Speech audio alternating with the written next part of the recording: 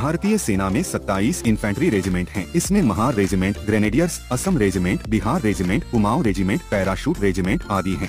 इन रेजिमेंटों में कई ऐसी भी हैं, जो किसी जाति के नाम पर बनाई गई तो कुछ क्षेत्र के नाम पर बनी आइए जानते हैं भारतीय सेना की उन प्रमुख रेजिमेंटों के बारे में, जिससे दुश्मन खौफ खाता है सिख रेजिमेंट की स्थापना अंग्रेज़ों ने 1846 में की थी इसमें 19 बटालियन हैं। कारगिल युद्ध के समय टाइगर हिल पर कब्जा सिख रेजिमेंट ने किया था डोगरा रेजिमेंट की स्थापना अंग्रेज़ों ने सन 1877 में की थी।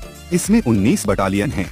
देश की सबसे खतरनाक रेजिमेंट में डोगरा रेजिमेंट का नाम सबसे आगे है।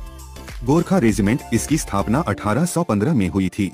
वर्तमान समय में इस रेजिमेंट के 11 भाग है। गोरखा रेजिमेंट में मूल रूप से नेपाली मूल के गोरखा लोगों को शामिल किया जाता है।